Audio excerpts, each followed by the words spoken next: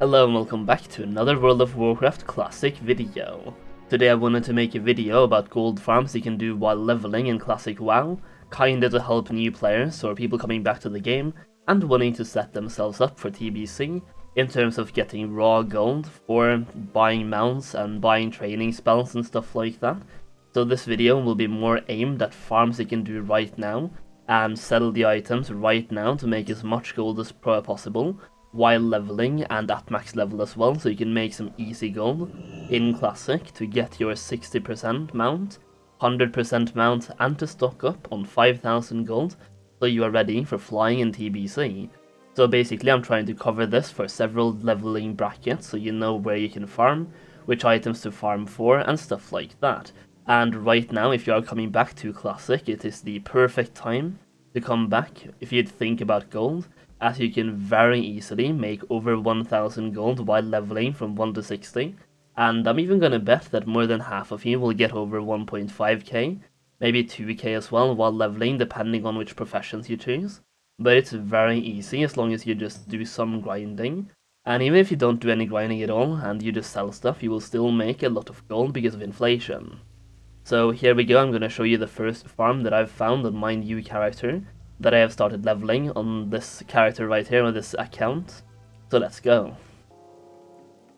Number one is not really a specific farming area, but it's more of a farming item, like which items you should be farming for, or which items you will get while leveling that you definitely need to keep and sell if you can. And basically for this, for Alliance, I've chosen this location right here in Westfall. And what I'm doing is just killing these birds and I'm hoping to get some light feathers light feathers on my server selling for 40 silver right now. I'll show you a little screen of what they sell for as well in a while. I'm just gonna do some killings and I'll show you how to get them basically, but what I do is I just stand here, usually with rested experience as that is very easy levels, if you have rested experience while grinding as well. But these burns, both on Alliance and Horde I think, are connected to some quests. For Alliance you have like this quest down at Saldean's farm, where you have to pick up different things from different animals. So you will get some light feathers while doing that quest, and by keeping your light feathers and selling them in the auction house, you are making a ton of gold. And as a new player, if you don't have any gold at all, it can be a really good farm. If you just stand here for a couple of, uh, let's say one hour or a couple of minutes, 10 minutes or something, you are gonna get some light feathers, and if you just get two of them, that is 80 silver, and if you get more than three of them, you've earned more than a gold. And as a starting player, having that one gold is really valuable. And you can buy boosts in the Deadmines, stockades, different dungeons, and just having gold is really nice. You can also stockpile the gold for later, so you can spend it on mounts, on training spells, or gear and stuff like that as well. So by stockpiling early and getting some gold early, you set yourself up for massive success throughout your leveling experience. So what I'm doing in these low levels when I just have want to or have the time I just farm some light feathers and make some gold, and you can do this from level 10. So it's a really easy way to make some gold in the very low levels, so it's very good for new players. And just to show you that I'm not making up the numbers or anything, here you have the auction house for light feathers, 40 silver e silvers each, so it's really easy to make some gold by doing this. Now, as we are flying to the next location on the next farm, I also want to talk about which professions you should get while leveling to make some easy gold while leveling. So basically, if you ask me, you have three options. If you're starting out as a new character, new server, or just a new player in general, you have three options. You have skinning, you have herbalism, and you have mining. All three of those are really good for making you some gold. Skinning is still really valuable, even though Blizzard have said they will nerf drums. Leatherworking will still be really good in TBC itself for crafting gear, for crafting different armor kits as well to enchant different stuff, and because the drums will still be usable, they just won't be as overpowered as originally stated.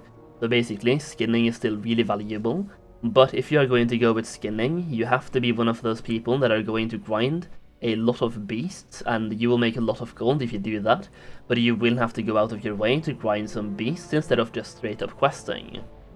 If you are going to go for herbalism and mining, or any of the two really, you still have to go out of your way to pick up different things, and if you want to do that, then I would suggest you go for both herbalism and mining, even though I think you can still only track one of those materials or mineral nodes on the minimap.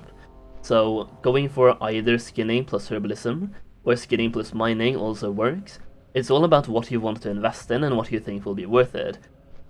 Basically, mining will be in massive demand for TBC because ores and gems are used, or ores, gems and bars are used in pretty much every profession. You have blacksmithing, engineering, jewel crafting. Jewel crafting is a new profession as well, so people will need tons of ores and gems for that one.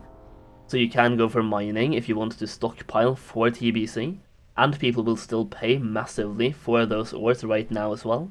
If you are looking to make some gold, definitely go for either of those professions and I would just say it's a matter of what you want to go for.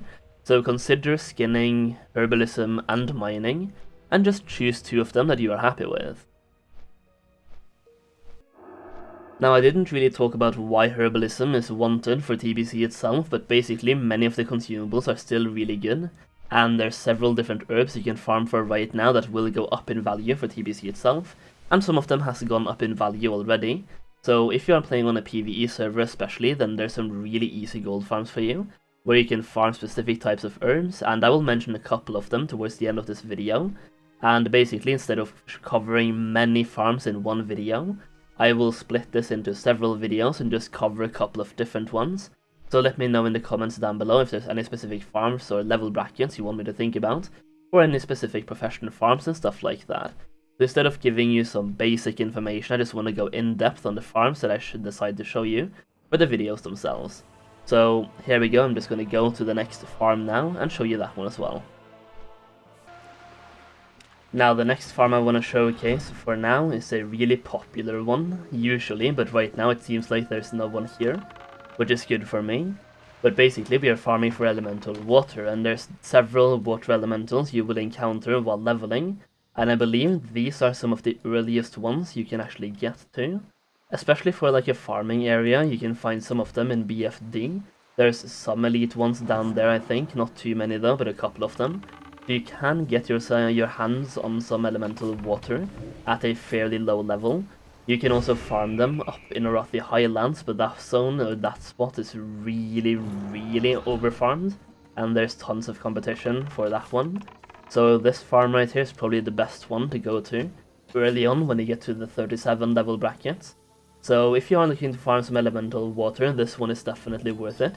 Now elemental waters in general are used right now a lot in phase 6, because they are used for the, the consumables required for Naxxramas raiding. So right now these are really hot, really in demand, and should get you some really easy gold while you are leveling. And yeah, just farm water elementals and hunt for them.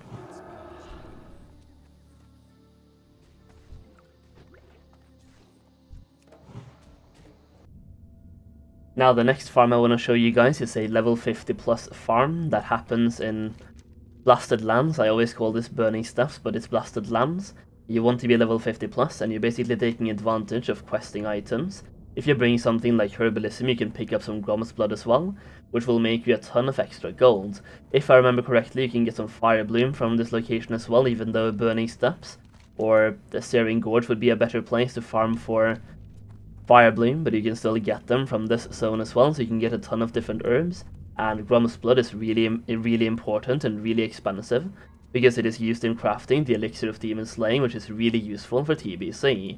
So the thing we are taking advantage of on the farm itself for this zone is pretty much killing anything involved with these quests you can see that I have. And there's another Grom's Blood as well, I really wish I had uh, Herbalism right now, but I don't, so we move. But basically, it's all around the zone. You can see different locations for different things. You pick up the quests all the way up here. So yeah, all, all, all the way up north, you pick up the quest at the camp, and then you just kill stuff and loot them. Even though they aren't technically a questing item, they can still be sold on the auction house and they are incredibly useful. If I click on this one right here, you can see it gives you this item, which increases your strength by 25 for 60 minutes which is really useful for raiders, and many people require these consumables, or at least they want them for parsing. So by selling the materials needed for these items, you will make ton of gold.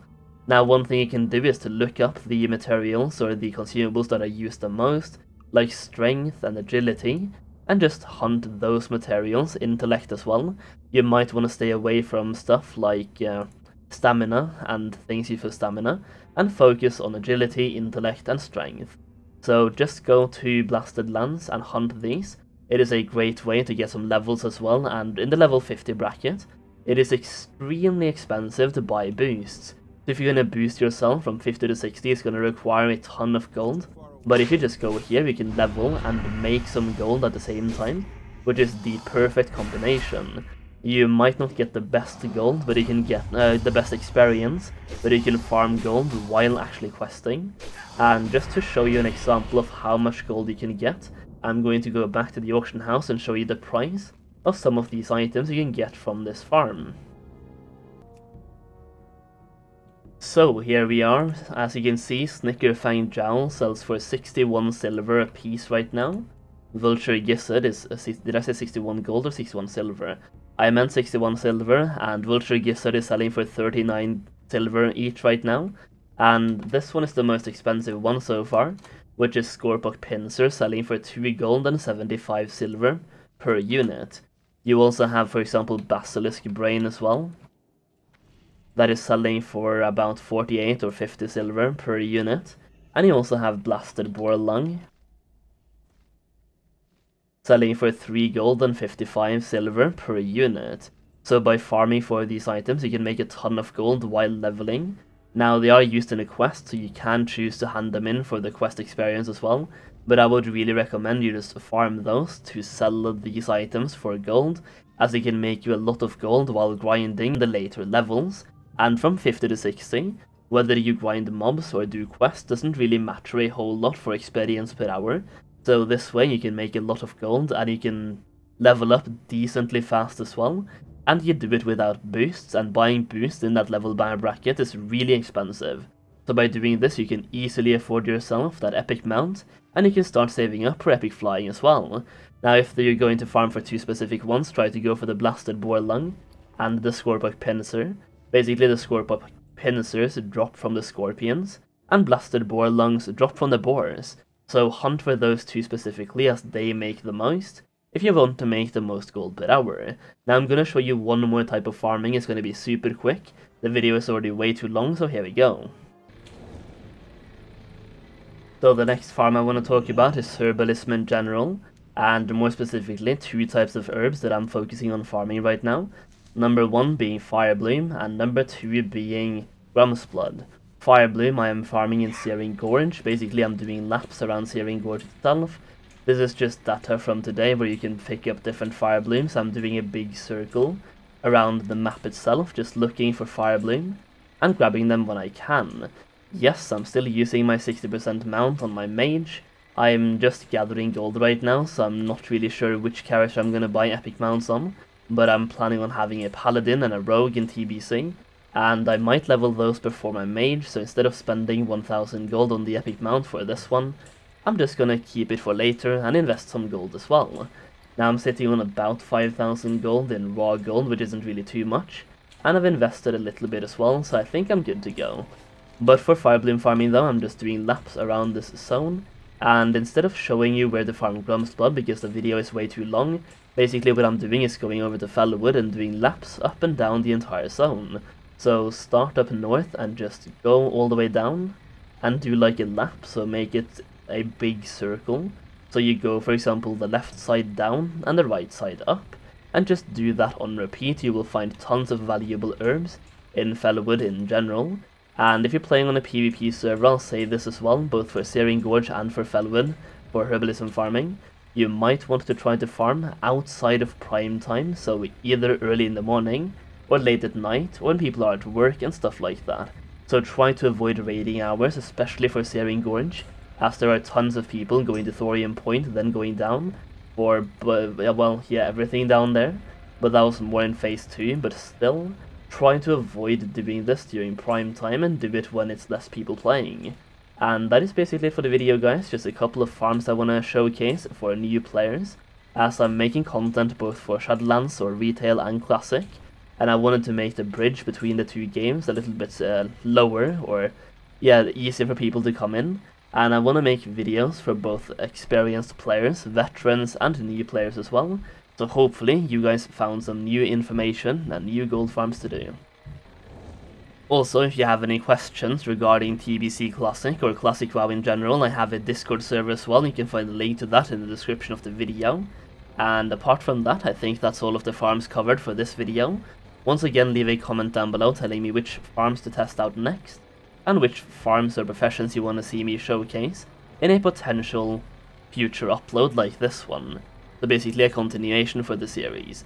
And that is it for the video guys, I will leave a link to both of my TBC investments videos down below as well in a pinned comment so if you have any gold to spare in Classic and you want to turn that gold into even more gold for TBC, you can find links to my TBC investments videos down below.